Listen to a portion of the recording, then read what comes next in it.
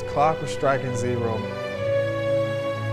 I just kept looking up and I'm looking up and I'm like, we're about to win the Super Bowl.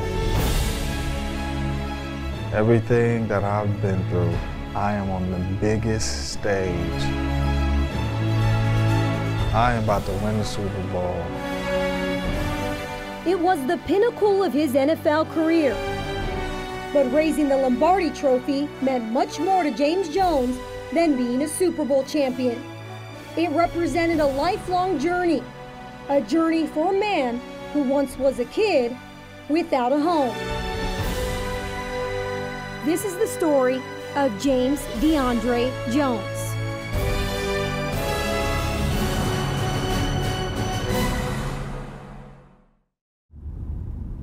When you're addicted to something, if you don't have the right help, you are you ain't gonna beat it.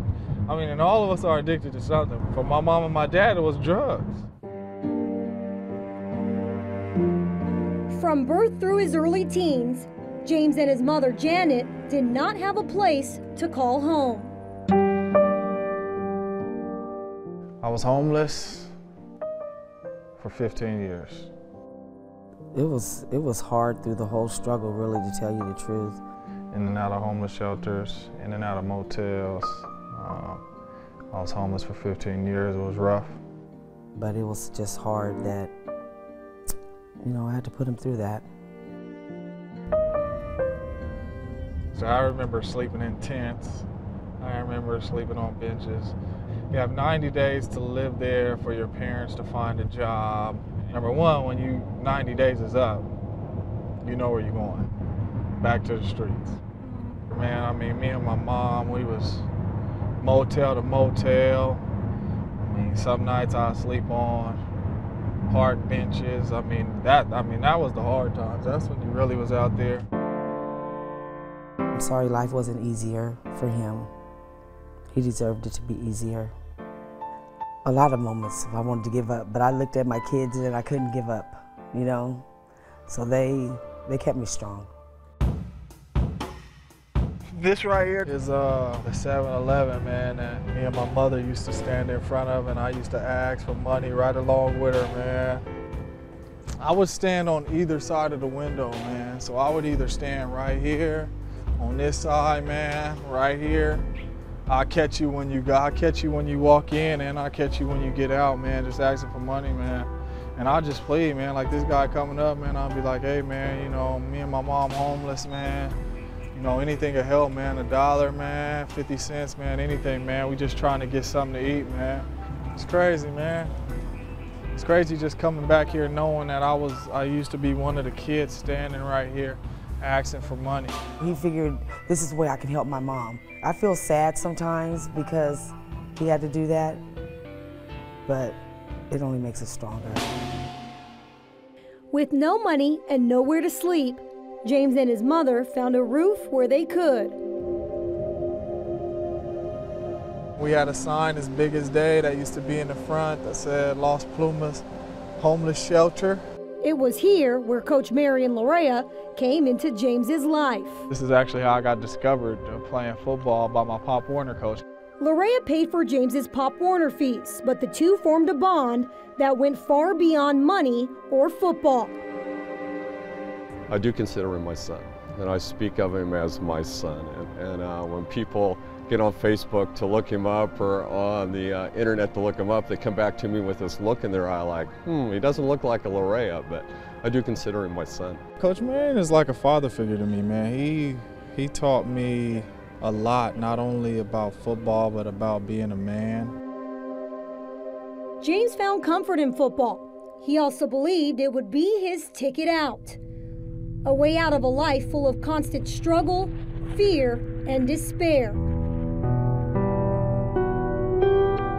We all know when you live in a homeless shelter, it's a bunch of different people that live there, man. Whether it's guys that have been out of prison, whether it's guys that are on drugs, whether it's men that you don't know really what they did. And you're in the shower with them, seven years old, you seeing guys, they got tattoos on their face. Sometimes the only shower that was available was a shower in between the dudes. You You know what I mean? So you come in here seven, eight years old, you way down here, they way up there. And I ain't necessarily saying somebody's gonna rape me or something, but even put their hands on me, anything, you never know. I mean, it, it was scary.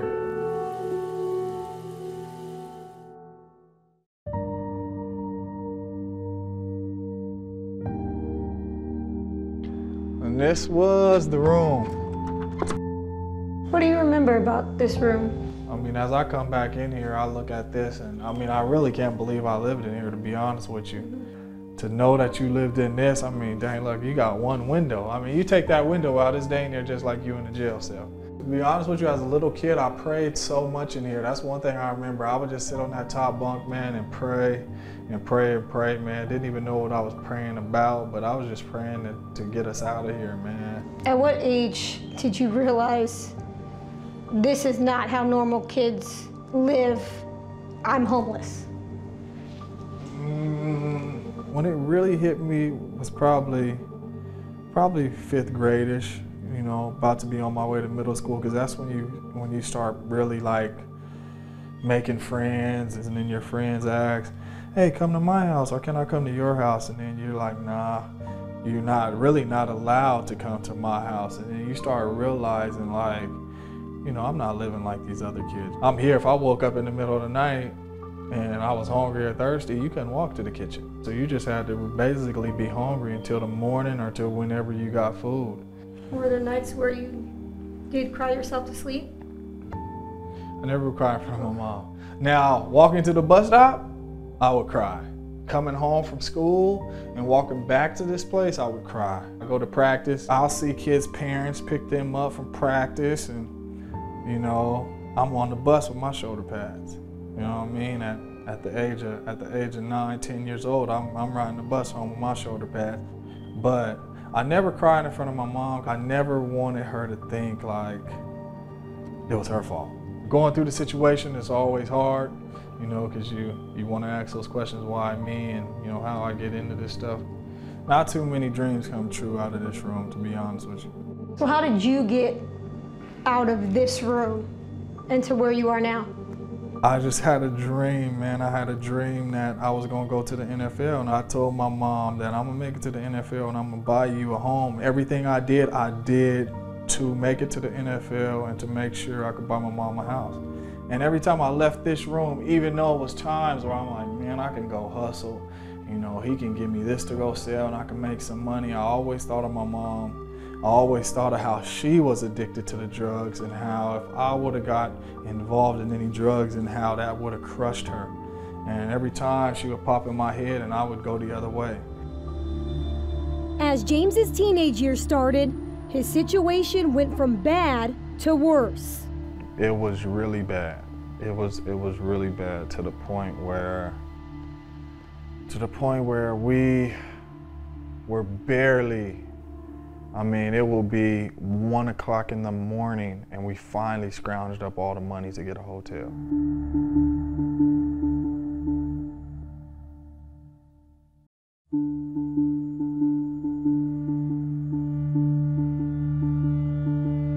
After 15 years of living day to day with uncertainty, James did what he never thought he would do. He left his mother's side in search for some stability. Like, Mom, I can't do it no more. And she, she, that's when she told me, she was like, all right, I want you to move with your grandma. I want you to, I'm gonna try to get clean. I moved into this house. The situation with your grandmother, I mean, I know it brought some stability into your life, but at the same time, I understand that there were so many people living in like a three bedroom house. Ooh. It was one time at my grandma's house. She had a three bedroom home and it was probably, it was roughly around 19 people living in there. It was, it was hectic in there, man. It was, still was at times where no food, no lights, you know, and I mean, it, it, was rough at my grandma's house still. I mean, I still had stability, but, you know, my grandma was struggling too. Despite living in a crowded home, James finally had some normalcy in his life. He spent all four years at Gunderson High School. This is like too surreal right now, man. This feels like I was just walking out of classroom yesterday, man. And now I'm back here All the kids know me, want autographs. It's crazy. Growing up in homeless shelters and that instability, did that set you back a little bit when it came to school and your education? Were you behind the eight ball a little bit? Um, it did a little bit. Um, I had a couple, I had a couple classes, you know, that weren't in special ed, but I had a couple that were. So I think the toughest thing about being in special ed, I think, is if you're not like strong-minded or if you're not mentally Yeah. tough, you can let it bother you. Given his circumstances, being mentally tough was a given for James. He never allowed special education to label him. Instead, he quickly became a star athlete on the Gunderson campus, excelling in track, basketball, and of course, football. He's such a natural athlete in everything he does. He's just he's so good at everything he does. Um, it, it was really easy to coach him because he's really coachable and he wants to work out. He wants to be in the weight room. He wants to do a lot of stuff. I used to come through here when I was about nine years old. Boom, boom, boom, boom. As a little Pop Warner kid, run on the field, run through a little tape. I can almost remember every touchdown that I scored on this field.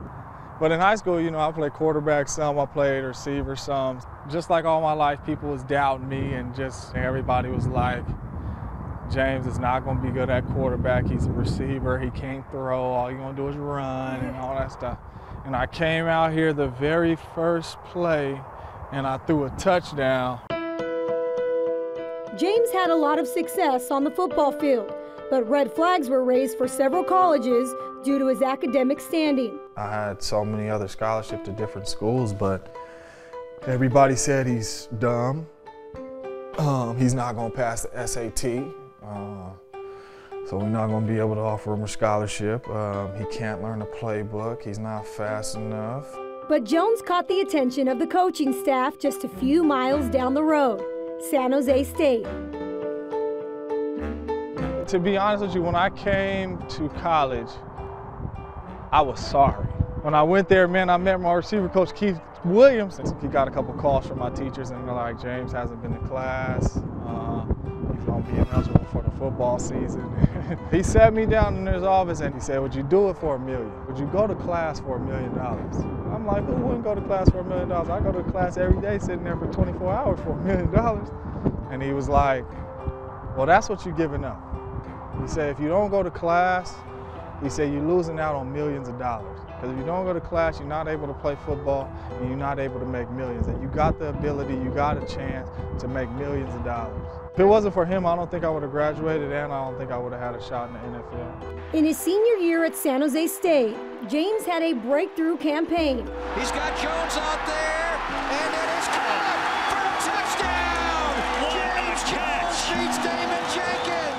reeling in 10 touchdowns and nearly 900 yards. However, his future as a pro was still in doubt. While he was rated the 133rd receiver in the country, a last minute invite to the NFL Combine would change things. I get invited to the combine the day before. My agent calls me, he says, I have a sweat suit for you. Meet me at the airport. I had a real good weekend at the combine. I left the combine, I moved up from 133 to, to 64. Um, after my pro day, I moved up to 32. And then I had a couple workouts, and after my workouts, I moved up to 16. So I never knew like if I was gonna get drafted or where I was gonna go.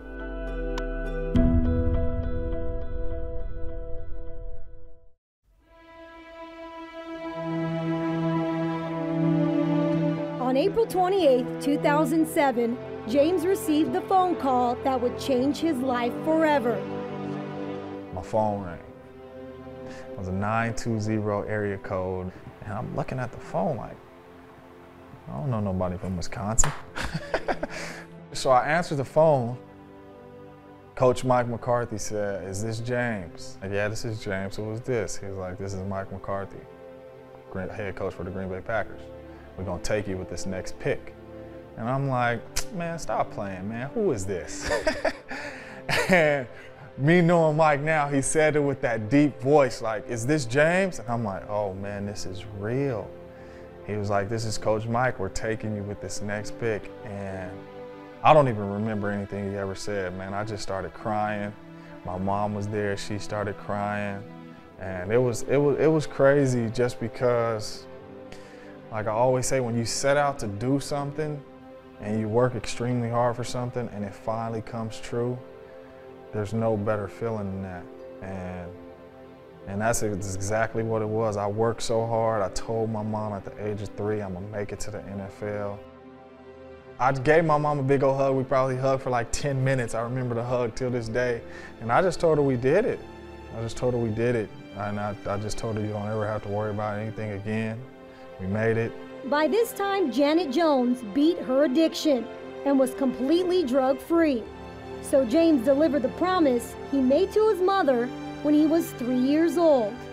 I mean, we got out the car and uh, we walked up to the door and I, I gave her the keys and I said, Mom, this is your new home. that moment is indescribable. It was, it was a surprise and I, it was just so, I was like, wow, I own my own home now. And all I could say was, is it mine? Really? And he's like, yeah. It's yours. I opened it with my key, and it was mine.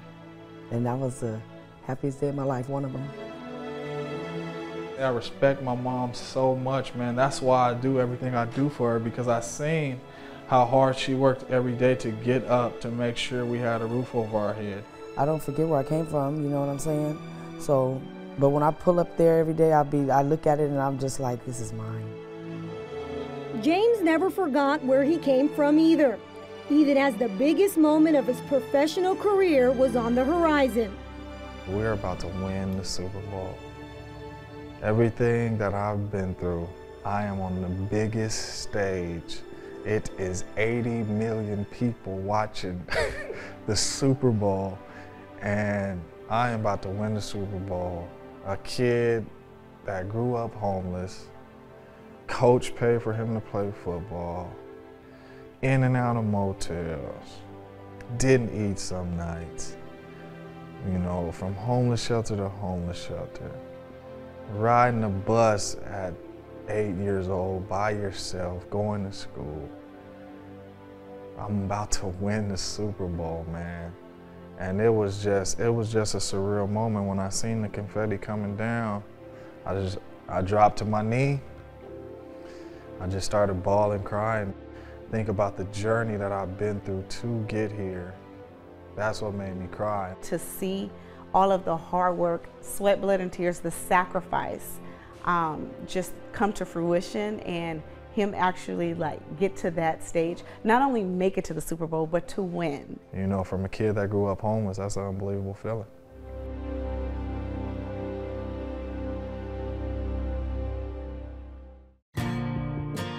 James wanted to share that feeling with those he owed the most. After Green Bay's Super Bowl win, James repaid his first football coach with a priceless gift. He gave me his jersey. I still, I still get emotional about, I mean, really emotional. Um, to give me, that's a prized possession for a player to win the Super Bowl. And uh, we had a party at the restaurant. He told me, Coach, make sure you're there. And when he gave me the jersey, I got emotional. I still get emotional when I talk about it. To me, that was a, uh, a wonderful thing, and it, it just makes me feel that he appreciated our relationship as we went through the years. Um, but I, th I thought I have not got a better gift in my life than that. I think that was just a wonderful moment. Still touching. I still get, still get emotional when I talk about it he thought I had a shot, and uh, he believed in me. And uh, I told him he's the one who started it all, and um, you know the one who gave me the opportunity to even pursue my dream. And uh, I owed it all to him, so I gave him my jersey.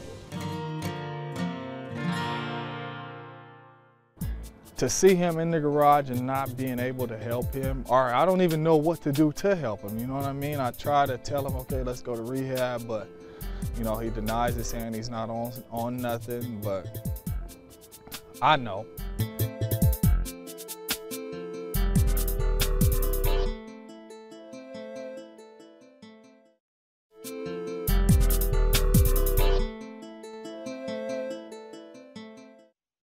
What's the touchdown dance? Come on, chill. Ready? One, two, three. Now 30 years old, James appears to have it all. Still, he's not immune to life's problems. James's father is still struggling with drugs. He still lives with my grandma, still in the garage. And it's crazy because it's, I'm in a position where I can help him, but it's tough to help him. He's in my life. My, me and his relationship is, is great. As much as I want him to change and come out of that is something that he has to deal with on his own. I think it's gonna come around the corner. I think James loves how far they've come though. Yeah, he may want more, but they've come a long way. She worked in the one I stayed at over there. I'm the one that made him learn how to run fast. What's up, Batman? You alright? How you doing? Why y'all laughing at Batman? What's the... James continues to live by the words of his mother Janet. Never forget where you came from. The Raiders wideout frequently makes surprise visits to homeless shelters to provide families with But hope. other than that, The most important thing is that you got out of there and look at where you Yeah, are today. yeah, and that's yeah. that's very inspiring for other people. you. That's the most important. you don't gotta live in the same situation your whole life. You know, it, it can be done. And I mean, proud of you. When you see some of these kids, do you see a little bit of you in them?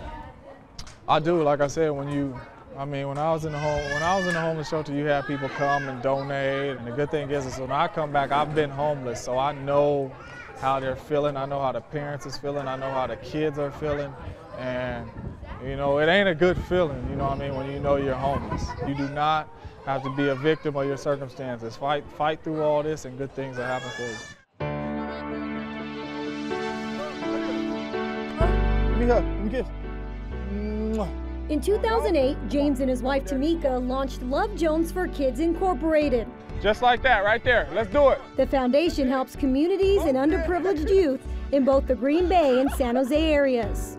We would give money out of our pocket to support the homeless shelter, and we sponsor feedings and barbecues there, um, and then extra clothes and clothes drives and things of that sort. Um, school drives with school supplies for the homeless kids.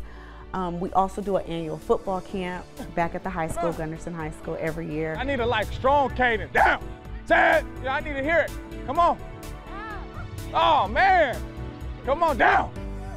There it is. Why do you share your story? I, I share my story just really to raise awareness. Whenever you think about homeless people, you never think about families and the kids. And I just want to let people know that homelessness is serious. It is a lot of homeless families out there, a lot of homeless kids out there. Maybe you may go back and donate to a homeless shelter, or maybe you may, you know, see some kids on the corner at a 7-Eleven and he asks asking for money and he pleading for money, him and his mom, and you think about, man, this used to be James, or you know, this kid's homeless, and you help him. So, for a kid who grew up without a home, James Jones is home. Home with the Oakland Raiders. I'm hoping that you know I play these three years, get an extension, and finish my career here with the, with the Oakland Raiders. I would love to finish at home. I would love to help change, you know, my hometown team, be able to bring them a Super Bowl, and even be able to bring them some winning seasons. It, it, it's going to be unbelievable the way this city is going to turn around. So I'm excited about the challenge. You got more than three years left in you? Definitely, definitely. I, if God keeps me healthy, I, I got a good five plus at a, at a high level. Once I start playing at a, you know, at an old man level, or you know, I'm not as fast and my game is slipping. That's when I call it. I don't, I don't just want to play the game to steal years. I want to play the game at a high level, and once I can't do that no more, I hang the cleats up.